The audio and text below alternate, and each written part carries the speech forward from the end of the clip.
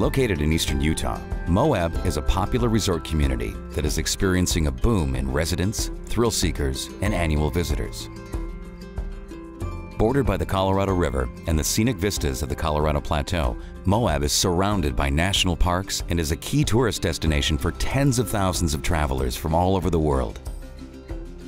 Rapid population growth and increased tourism put a major strain on Moab's aging wastewater treatment plant, originally built in the 1950s. The city needed a new, modern system that provided both efficiency and cost savings.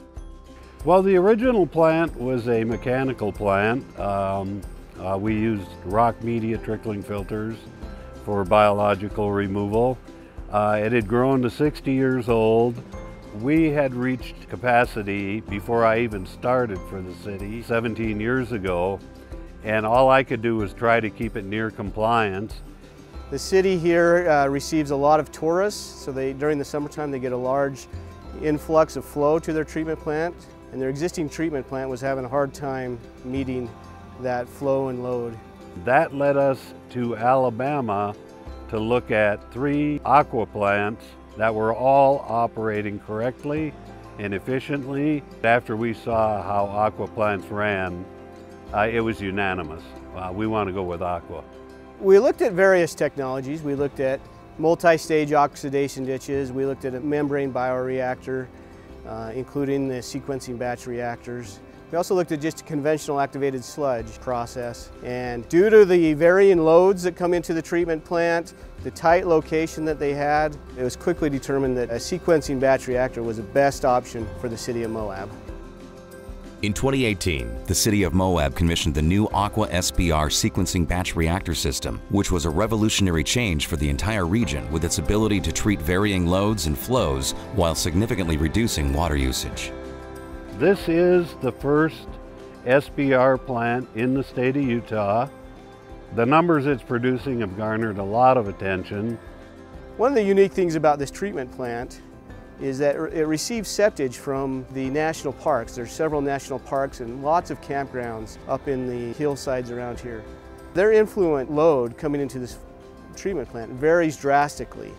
It can go from the average of 250 milligrams per liter to pushing 700, 800 milligrams per liter when these septic trucks are dumping. And so we wanted a robust process that would be able to handle this variation in loading coming to the treatment plant. We were using 2 million gallons of city water at the old mechanical plant.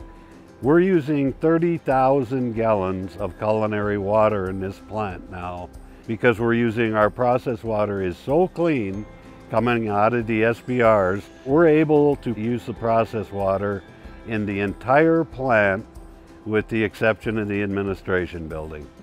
We can use it for washdown water. We use it throughout the treatment plant. The old treatment plant did not have that ability. They were the highest water user in the city. And with this new treatment facility, we are now in line with a regular residential house with water usage at the treatment plant site. So that was a big savings. The city of Moab quickly experienced the process capabilities of the Aqua SBR soon after startup and its ability to produce exceptional effluent quality well below permit. The state gave us a year of leniency on compliance for BOD TSS. Our standards are 25-25 on a monthly average, and we were producing below non-detect levels in three months. So they're easily meeting their uh, discharge requirements. In addition, their phosphorus limit is two and a half milligrams per liter, and, and they are far below that without adding chemical Right now, we're running at just slightly over 99% efficiency on the entire plant on BOD and TSS. Our TN is running between three and four. We no longer have to run acute ammonia testing. Our ammonia levels on our effluent are below, I've seen them as low as 0.14, 0.15. So our nitrification cycle is obviously operating very well. The Aqua SBR system provides several advantages for plant operators, including on-demand process control and ease of maintenance on retrievable components. Working here at the new plant is much more operator friendly. Uh, Almost everything is automated. It makes it much easier to do. At the old plant, it was a fixed film plant with trickling filters. And every day you had to go out and you had to wash down all the clarifiers. You had to check the trickling filter orifices.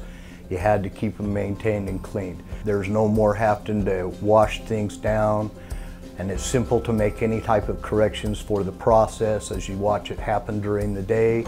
You can adjust your air cycles. You don't have to worry about overloading the plant. Most systems use the bolt down diffuser method for aeration. That forces them into a situation where they have to drain their tank to address their air issues after we saw how aqua aerobics plants ran the best they could run with the removable aeration grids, Aqua has made a niche in the marketplace that no one else has. I have the ability to just shut down an air grid, pull it out. Uh, we had to do that once already. That grid was back in the tank in an hour and operational at 100% and you notice the difference right away. If you're an operator, this is the best, best deal you can get. Aqua Aerobic Systems customer service is considered a partnership from the design phase through plant startup and beyond. Throughout the, the design process and then the startup process, every aspect from Aqua Aerobics, they have had professional people who have had a lot of experience who have helped us through the process. They've helped us on the design side and then Greg and his operations team, they've helped him through the startup. It was definitely a partnership. Aqua guaranteed us that if I needed technical support and I called a 24-7 number, I would get a technician.